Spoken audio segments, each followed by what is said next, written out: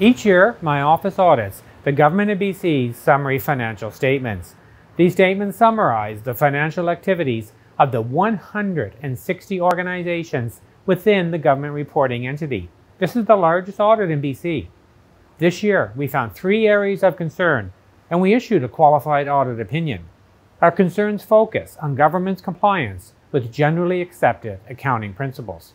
This should not be taken lightly, and I would invite you to visit us at oag.bc.ca to learn more. Thank you.